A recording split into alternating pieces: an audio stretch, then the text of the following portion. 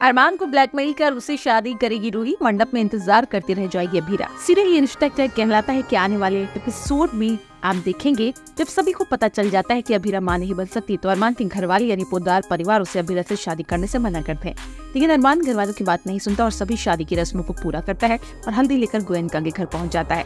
वहाँ वो अभीरा और अपनी शादी के लिए अगली शाम आठ बजे की तारीख तय करता है। इधर विद्या अरमान के फैसले का विरोध करती है और बोलती है, वो इस शादी में शामिल नहीं होगी। इसी पर रूही जो अरमान को पाने के लिए पूरी प्लानिंग कर रही है। लाल जोड़ा पहन शादी करने के लिए पूरी तरह से तैयार है। आने वाले एपिसोड में देखने को मिलेगा।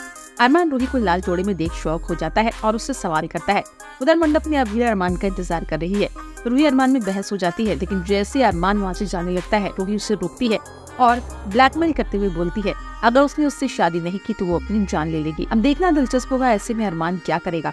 क्या वो अभिरा को छोड़कर रूही के दबाव में आकर उससे शादी कर लेगा? टीवी सीरियल से जुड़ी लेटेस्ट अपडेट के लिए देखते रहिए हमारे चैनल टेलीटेलिस्कोप।